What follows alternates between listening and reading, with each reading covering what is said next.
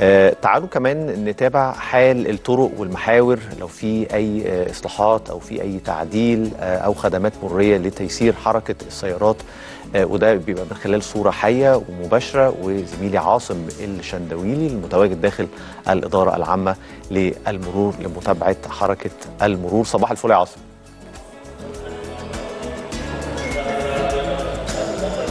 يا صباح الخير يا جاد تحياتي ليك وتحياتي لكل مشاهدي صباح الخير صباح الخير والبركة والسعادة عليهم من داخل غرفة العمليات المركزية بالإدارة العامة للمرور. برحب بحضراتكم واسمحوا لي في البداية أقول كل عام وكل امرأة مصرية بألف خير وصحة وسعادة. بمناسبة النهارده 21 مارس عيد الأم كل عام وأنتم دايما درع الأمن والأمان لينا والدفى والحنية. كل عام والام المصرية داعمة لأبنائها ووطنها طبعا يا جاد عندنا مؤشر في غاية الأهمية مؤثر الحقيقة بشكل يعني ملحوظ إلى حد ما على حالة الطرق وهو الانخفاض الملحوظ في درجات الحرارة وسقوط الأمطار الخفيفة إلى متوسطة على أغلب الأنحاء. عشان كده بنحذر كل قائدي المركبات عليهم الاتباع التام لكل القواعد المرورية وأيضا انخفاض السرعة خاصة في هذه التوقيتات اللي بيبقى فيها يعني بعض الآثار على الطرق من الأمطار اللي إحنا شاهدناها. أمس ويمكن النهارده كان في أمطار خفيفة خالص في الساعات الأولى من الصباح. عشان كده يا ريت كلنا نتوخى الحذر أثناء القيادة على الطرق وتحديدا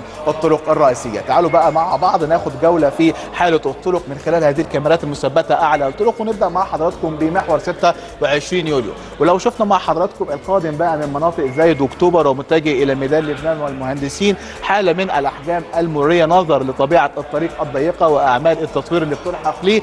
الأمر طبعا اللي ترتب عليه تواجد مكثف من قبل رجال النور في هذه المنطقة لأحداث سيولة مرورية. لحظة بلحظة. أما الاتجاه الآخر القادم بقى من ميدان لبنان والمهندسين ومتجه إلى مناطق زايد والصحراوي وأيضا مناطق أكتوبر في حالة من السيولة المرورية التامة في هذا الاتجاه. نروح بقى مع حضراتكم لبعد هذه الجزئية وهو كوبري السودان واللي بياخد معانا من منطقة محور 26 يوليو مكمل معانا بقى لحد 15 مايو ثم بعد كده مناطق الزمالك. ولو شفنا هذا الاتجاه اللي جاي هنا بقى من مناطق ميدان لبنان ومناطق شارع السودان ومتجه بقى إلى مناطق كوبري 15 مايو والمهندسين وأحمد عرابي ثم بعد ذلك مناطق الزمالك في حاله من الأحجام المرورية ولكن يعني في سيولة إلى حد ما ولكن في أحجام مرورية على هذا الاتجاه.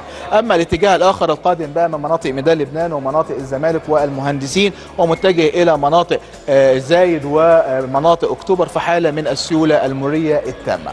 نروح بقى مع حضراتكم لجزئية أخرى وهو الدائري. والقادم بقى من مناطق الدائري سواء مناطق الزراعي وكوبري صفطة ومتجه بقى إلى مناطق طريق الواحات أو نزلة الصحراوي في حالة من السيولة المروريه التامة. واللي جاي هنا بقى من الطريق الصحراوي طلعت الدائري أعلى الرماية ومتجه إلى باقي المناطق الأخرى على الدائري في حالة من السيولة المروريه التامة. واللي جاي هنا بقى مدينة السادس من أكتوبر طريق الواحات مدينة الإنتاج الإعلامي حدائق أكتوبر ثم باقي المناطق على الدائري في حالة من الأحجام المروريه يعني البسيطة. ولكن العملية تسير يعني بكل سهولة ويسر. في جزئية بقى نزله الدائري في اتجاه الرماية اتقفلت في يعني تحويلة حصلت بقى لها يومين قدام المتحف المصري نظرا لأعمال الخط الرابع للمترو فحبايبنا اللي جايين من على الدائري ونازلين نزله الرماية. هيوصلوا لحد أول بوابة للمتحف مصر الكبير وهيلفوا ويرجعوا تاني كأنهم رايحين على طريق مصر اسكندريه الصحراوي وبعد كده هياخدوا أول يوتيرن يمين أسفل الدائري ثم بعد ذلك يمين ثم بعد ذلك يمين. هيوديهم على طول على ميدان الرماية ثم بعد ذلك طريق الفيوم. نروح بقى مع حضراتكم لمنطقه أخرى أعلى الدائري. القادم بقى من هنا دائري المريوطية ومتجه بقى إلى دائري المعادي ثم بعد ذلك المنيب ثم مناطق التجمع في حاله من السيولة المرورية التامة. طلعت البحر الأعظم المتجهة إلى الدائري برضه فيها حالة من السيولة المرورية التامة وأيضا النازله الخاصه بالبحر الأعظم حالة من السيولة المرورية التامة واللي قادم بقى من مناطق التجمع ومناطق حدائق المعادي ومتجه إلى يعني باقي المناطق على الدائري نزلت البحر الأعظم منطقة الدائري الخاص بالمريوطية في حاله من السيولة المرورية التامة أيضا في هذا الاتجاه. نروح بقى مع حضراتكم لنقطة في غاية الأهمية أعلى الدائري وتحديدا عند منزل الصعيد. لو إحنا شايفين قدام حضراتكم على الشاشة في حالة من الكثافات المرورية في هذا الاتجاه نظرا لأعمال التوسعة اللي بتلحق ليه. يمكن الدائري من الجزئيه دي للجزئيه دي ألحقت بعملية التطوير وتم إضافتها للدائري اللي كان متواجد قبل ذلك. ولكن ما زالت أعمال التطوير في باقي المناطق يعني شغالة فبالتالي ترتب عليها هذه الأحجام المرورية. أما هذا الاتجاه الآخر القادم بقى من الكنيسة ومناطق التجمع ثم باقي المناطق الأخرى على الدائري في حالة من السيولة المرية التامة في هذا الاتجاه. نروح بقى مع حضراتكم لكوبري صف واللي جاي هنا بقى من يعني آه، الزراعي وباقي المناطق من على الدائري ثم بعد ذلك ياخد طريق صفت واللي جاي برضه من كرداسة واخد كوبري صفت نزلة الجامعة في حالة من السيولة المرية التامة وأيضا الدائري اسفل صفت في الاتجاهين حالة من السيولة المرية التامة.